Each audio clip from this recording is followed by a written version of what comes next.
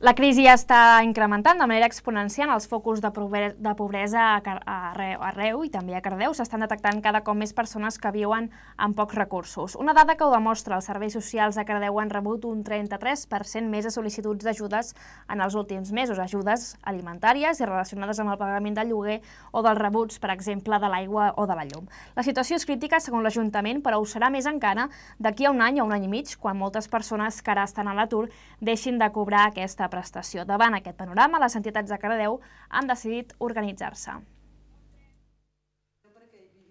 Un grup de cardedeuencs ha posat fil a l'agulla per invertir part del seu temps en ajudar els que pitjor ho passen en aquests moments de crisi. La iniciativa s'ha anomenat Cardedeu Respon i vol engegar una campanya de recollida d'aliments per omplir el rebost de Càritas. Un rebost que, com la majoria de magatzems socials, comença a estar buit per això, la setmana passada van organitzar una trobada per exposar la iniciativa. Al voltant d'una trentena de persones van respondre a la crida i van començar a dissenyar la campanya.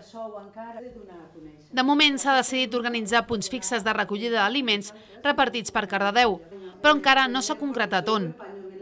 El que sí s'ha descartat és fer un porta a porta per recollir-los. L'acció es durà a terme a finals de maig i el dia 13 hi ha convocada una nova reunió.